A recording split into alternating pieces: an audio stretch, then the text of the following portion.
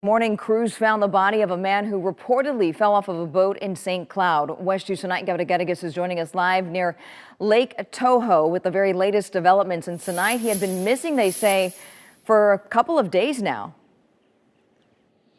That's right, Luana. According to FWC, the boater was reported missing on July 1st, which was Friday around 8 p.m. And then crews found the body this morning at 10. And we're learning he is identified. His name is Sean Rand from Port St. Lucie.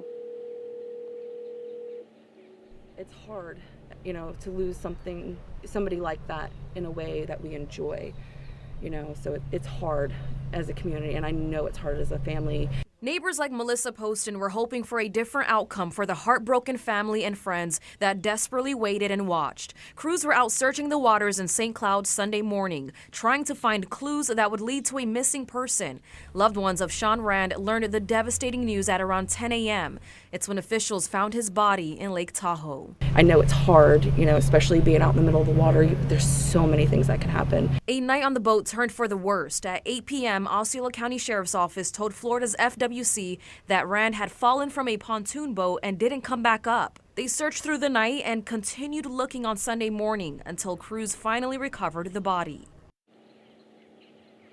Florida Fish and Wildlife Conservation Commission is looking into what led to the accident.